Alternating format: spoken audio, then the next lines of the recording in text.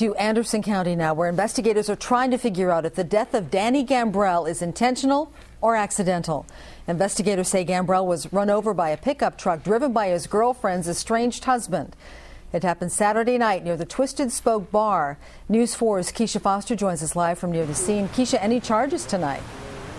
No charges yet, Carol, because investigators are still reviewing evidence collected here at the scene, and they're also taking into consideration into, into, consideration what the driver said, as well as what witnesses had to say about what happened Saturday night. But with the coroner, he says this deadly encounter seems far from accidental. From the information we know that you know the relationship that was going on, this appears to be domestic. Uh, I don't think it was just uh, a coincidence that uh, the two came in contact. So, uh, but the investigation will certainly tell us more, and that's still pending. Anderson County Coroner Greg Shore says 51-year-old Danny Gambrell of Piedmont was run over Saturday night. He says a 47-year-old driver in a pickup truck hit Gambrell and then kept going.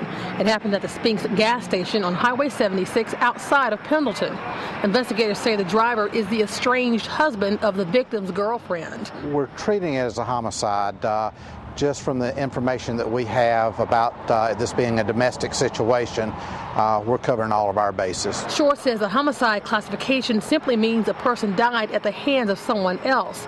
For the time being, the Anderson County Sheriff's Office is calling it a death investigation. South Carolina Highway Patrol asked Anderson County Sheriff's Office to conduct an investigation of a vehicle versus pedestrian. Uh, we are currently working a uh, potential criminal uh, investigation uh, involving that incident, and our investigators are still uh, working on trying to put the pieces together and uh, trying to determine if, if there's going to be uh, any criminal responsibility on behalf of the driver.